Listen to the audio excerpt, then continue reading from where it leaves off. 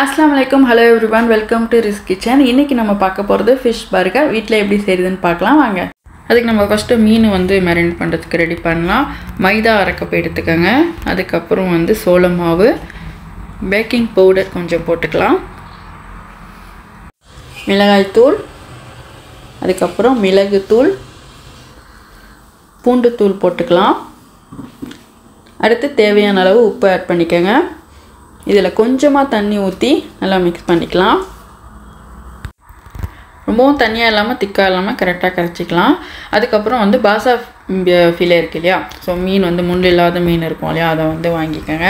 அதை நம்ம இதில் கோட் பண்ணி அதுக்கப்புறம் பெட் கிராம்ஸில் வந்து குக் பண்ணி வச்சுக்கலாம். இது நீங்கள் வந்து நீங்கள் உடனே ஃப்ரை பண்ணுறதா இருந்தாலும் பண்ணலாம். கொஞ்சம் ஒரு பத்து நிமிஷம் அரை மணி நேரம் வச்சிங்கன்னா உங்களுக்கு நல்லா வந்து மசாலா நல்லா ஏறி நல்லாயிருக்கும் அதுக்கப்புறம் நிறையா எண்ணெய் ஊற்றி தேவையான அளவு உங்களுக்கு பொரிக்கிற அளவுக்கு எண்ணெய் ஊற்றி அதை வந்து நம்ம வந்து பொரித்து எடுத்துடலாம். ரெண்டு பக்கமும் கோல்டன் கலர் வர வரைக்கும் ஃப்ரை பண்ணிக்கோங்க. அதுக்கப்புறம் தோசைக்கல் ஹீட் பண்ணி அதில் பர்கர் பன் இருக்கு இல்லையா அதை வந்து நம்ம வந்து ஒரு கொஞ்சம் நேரம் வச்சு எடுத்துடலாம். நீங்கள் மைக்ரோனில் ஹீட் பண்ணுறதோட தோசைக்கல்லில் போட்டு எடுத்திங்கன்னா தான் உங்களுக்கு வந்து நல்லா வந்து ரெஸ்டாரண்ட்டில் சாப்பிட்ற மாதிரி இருக்கும்.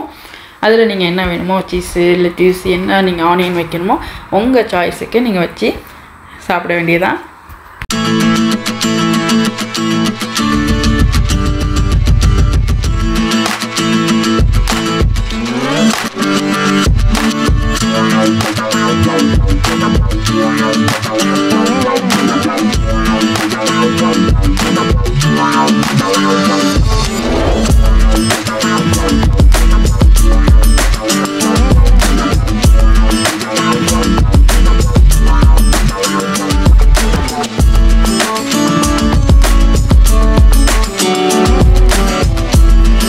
இது எப்படி இருக்குது நம்ம சாப்பிட்டு பார்த்துட வேண்டியதான் சாஃப்டாகவும் நல்லா வந்து அந்த சில்லி சாஸு அந்த இதெல்லாம் வச்சு சேர்த்து சாப்பிடும் போது சான்ஸே இல்லை.